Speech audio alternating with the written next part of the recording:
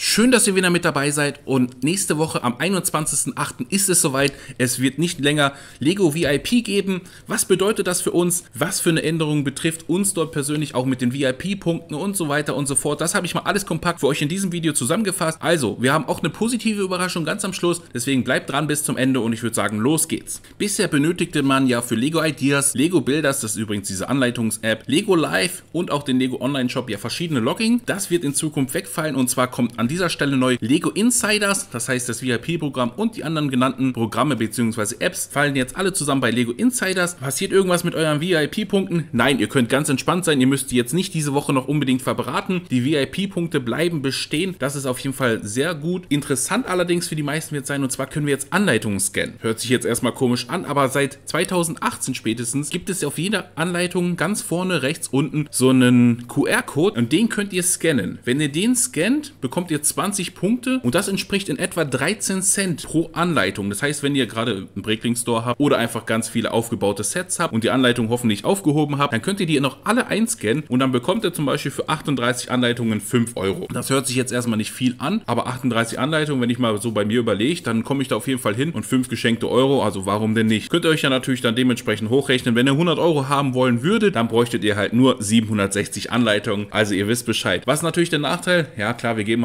natürlich unsere Daten preis, aber das machen wir ja sowieso bei jeder App, bei der wir uns anmelden. Die wollen ja immer Zugriff auf alles haben. Daher sehe ich da jetzt nicht so große Probleme persönlich auf mich zukommen. Aber natürlich muss das jeder für sich selber entscheiden. Man kann ja auch diese 13 Cent pro Anleitung halt einfach ignorieren. Das ist ja nur ein Angebot von Lego. Und ich denke auch an die Leute, die vielleicht 100 oder 200 Clone-Sets kaufen, also die Battle Packs kaufen. Wenn die davon wenigstens dann noch ein paar Euro wiederkriegen, entweder sei es um weitere Battle Packs zu kaufen oder was anderes zu kaufen, dann ist das doch eine faire Sache. Also warum denn nicht? Aber jetzt seid ihr gefragt. Schreibt mir gerne mal in die Kommentare, was ihr von dieser Änderung haltet. Denkt ihr, das ist ein Schritt in die richtige Richtung? Denkt ihr, diese 13 Cent als Belohnung in Anführungszeichen ist es wert, eine Anleitung zu scannen oder seid ihr da anderer Meinung und sagt, ach, für 13 Cent scanne ich hier gar nichts? Ich bin da echt gespannt auf eure Meinung, eure Einschätzung zu der ganzen Sache und ansonsten wünsche ich euch noch einen schönen Tag. Macht's gut, bis zum nächsten Mal.